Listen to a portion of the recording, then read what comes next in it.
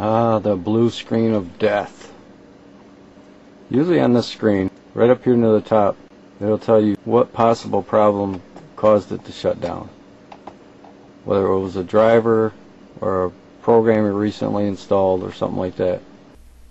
And when you get a blue screen, most of the times you can get by it by starting your computer in safe mode. So when you first turn the computer on,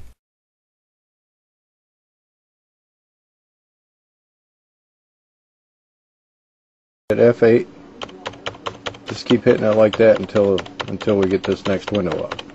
Now some computers will bring this boot screen up some won't. And some computers you can hit F12 to bring up this boot screen. And from here you can select to search the floppy disk or the hard drive or the CD-ROMs for a boot menu. But in this case we're going to go into safe mode. So we're going to hit escape and then start hitting F8 again right away. And that'll bring up our safe mode screen. Use the cursor keys to go up to the top, click on safe mode, choose the operating system it found, and you'll see the screen come up with it, it's loading all its drivers.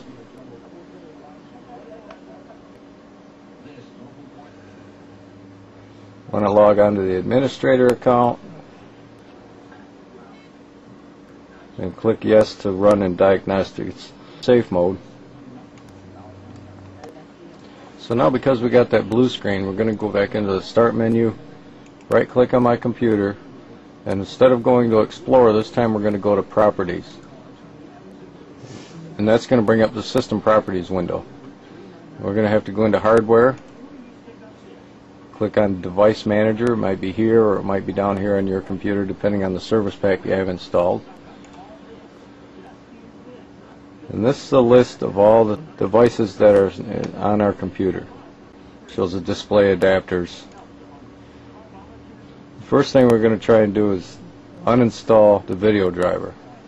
But if you do this, you have to make sure that you have the driver to reinstall it, or the CD, or if it's uh, if you bought your computer from Dell or something like that, then it, the driver is going to be on one of your restored disks. You right click on that device Click uninstall. Then click OK. And then we'll restart and it'll ask us for that driver. Okay, this time we got a new blue screen since we uninstalled the video driver.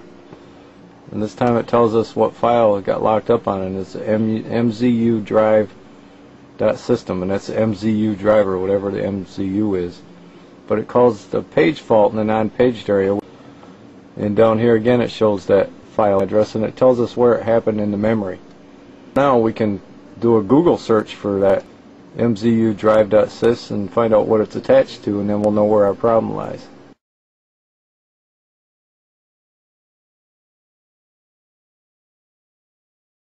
Okay, we typed mzu.drive or underscore drive.sys into the Google search and that's a Trojan. Click here to download Super Ad Blocker. Okay, now that that is an advertisement for Super Ad Blocker. It's not actually going to help you get rid of that virus. All it's going to do is install the Super Ad Blocker program and they're going to make you buy their stuff.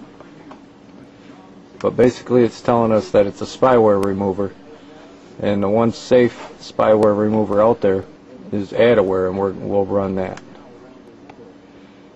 Bleepingcomputer.com is usually pretty good about giving you information on certain files on your computer. We're going to check that one out. It says this is an undesirable program. Well, we know that, don't we? Okay, so we're back in safe mode. We're going to go to Start menu, click on Search. We're going to do a search for all files and folders we're going to type in, since the file name we're looking for, we're going to type in MZU because that's in the file name. We don't need the whole file name. Scroll down in here, click on More Advanced Options, and tell it to search for hidden files and folders. And we'll do a search and see what we come up with.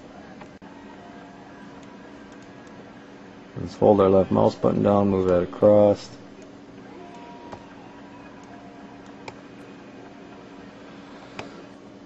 There it found our file MZU drive.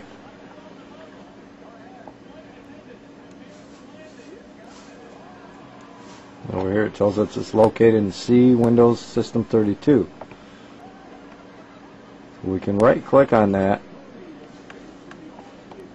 then choose open containing folder.